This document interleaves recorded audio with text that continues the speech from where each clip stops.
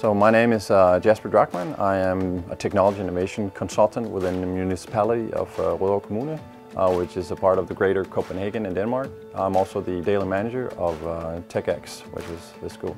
So Tek-X was created um, on the, on the base that we have a new subject called technology and innovation, which is on the same lines of math and, and, and languages. The kids here in this municipality, about 4,000 are being taught in this subject.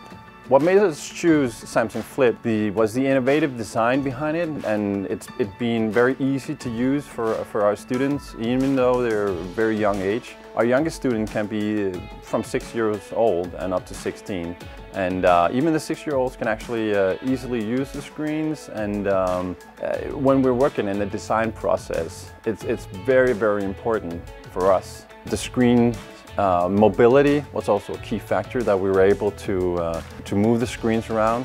This uh, learning environment is made for mobility. Uh, it's something that is a core value for our students as well when they work here because we, um, we believe in the, in the design-based and in innovation process that we won't constrict our kids to sit in a specific way when, they are, uh, when they're learning the ability to, to import screenshots or images from, from previous things that the kids have made and you can draw on them. The, the, way that it's actually used and implemented in the actual screen makes it really, really good because it's very intuitive. My name is Ronnie Larsen. I'm a business development manager at Samsung Denmark. I work in our display division.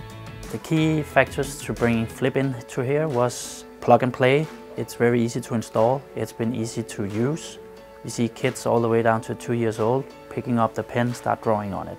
So it has to be easy for the kids so they can learn, they can think more innovative and actually use the technology.